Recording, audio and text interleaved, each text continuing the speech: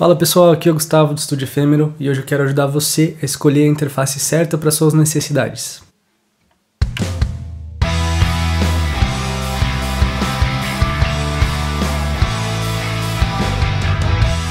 Primeiro vamos falar um pouco sobre o que é a interface de áudio, o que, ela vai fazer. A interface de áudio pode ser um negocinho pequenininho assim, pode ser uma interface maior e ela serve basicamente para receber informação do seu microfone ou do seu instrumento ou de outros equipamentos de som e converter essa informação analógica em informação digital para você abrir no seu computador. Além disso, claro que ele vai fazer o contrário também, ele vai receber informação digital do seu computador transformar a informação analógica para o seu fone de ouvido ou para suas caixas de som. Você já deve estar se perguntando, peraí, eu já tenho um computador, o computador já tem uma saída e uma entrada de áudio, ele já tem uma interface de áudio, então por que, que eu vou querer comprar outro? Bom, você está certo, realmente tem isso no seu computador, mas a qualidade de áudio é baixíssima tanto para gravar quanto para reproduzir mas principalmente para gravar. O cara que está projetando o seu computador vai colocar um, uma entrada de microfone que vai servir basicamente para quê?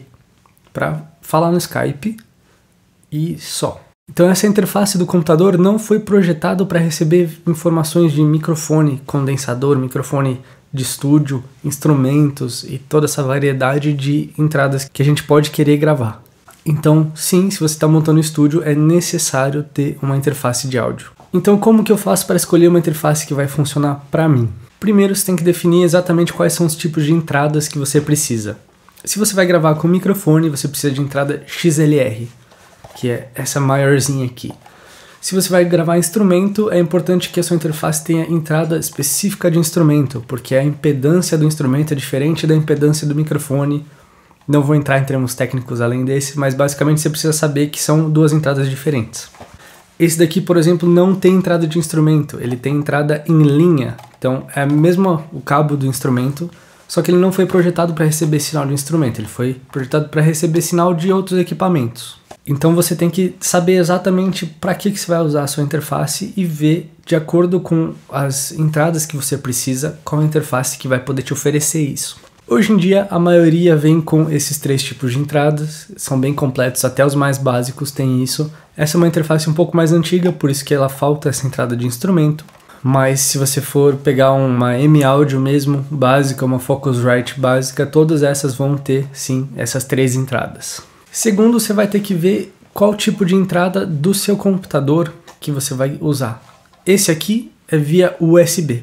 Então, a maioria, grande maioria que você vai achar, principalmente os mais em conta, são USB. Se você tem uma entrada USB no seu computador, está resolvido.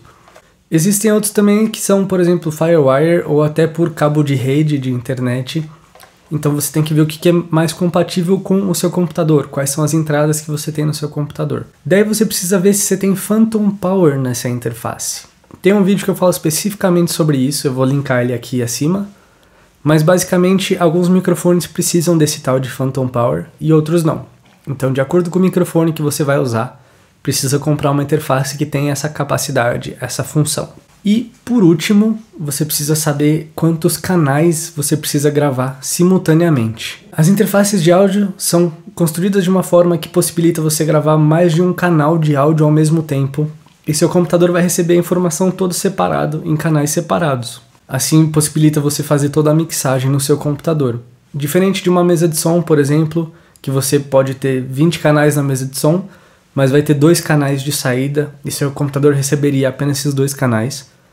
A interface de áudio vai possibilitar que você tenha uma interface, por exemplo, de 20 canais, e no seu computador ele vai receber 20 canais de áudio separado. Então, se eu estou gravando uma bateria, por exemplo, eu posso querer oito ou mais canais para gravar, para poder pôr o microfone na caixa, no bumbo, nos pratos, no, nos tons, etc. Mas, sinceramente, dentro de um contexto de gravação que você não tem bateria, você nunca vai usar mais de dois canais.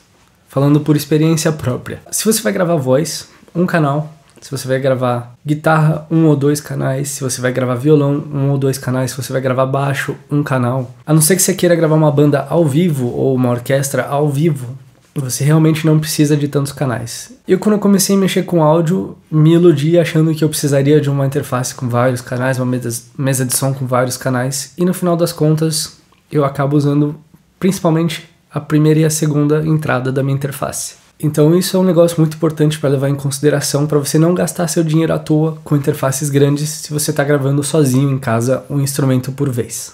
Então essas são as minhas recomendações para você planejar a compra da sua interface de áudio.